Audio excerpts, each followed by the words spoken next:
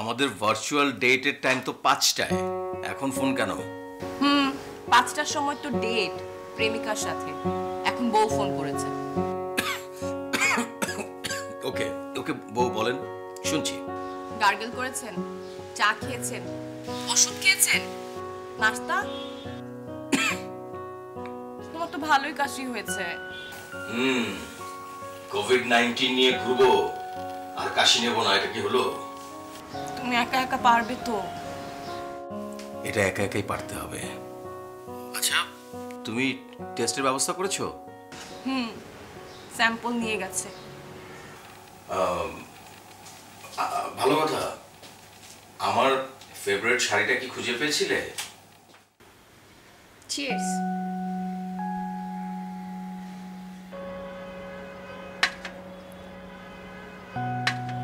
কি? হাসো কেন? আমার বয়সটা যদি আরেকটু কম থাকতো তাহলে এখন তোমাকে দেখে আমি কি বলতাম জানো? কি বলতে?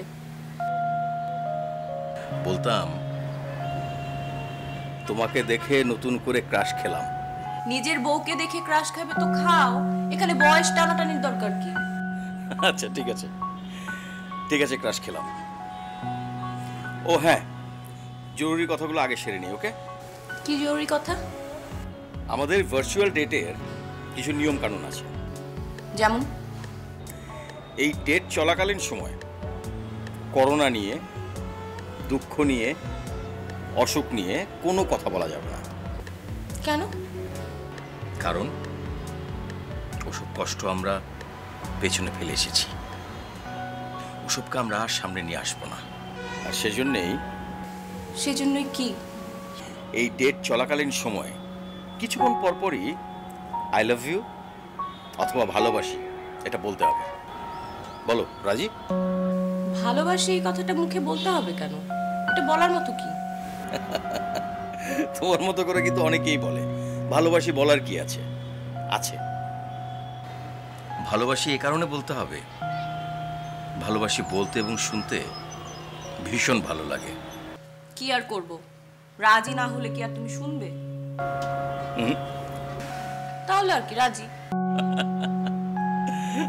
থ্যাংক ইউ তাহলে আমি প্রথমে বলি আই লাভ ইউ দেখো জায়গাটা কিন্তু খুব সুন্দর। কফি খাই। এখান থেকে ধরো স্কাই দেখা যায়। আমি একদম উপরে টপ ফ্লোরে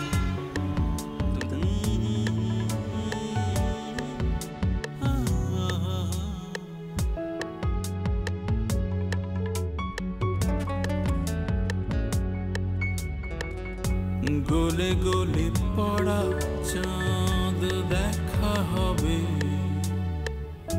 সকাল বেলার ফুল গন্ধ দেবে। আকাশের আলো জানান দেবে। জীবন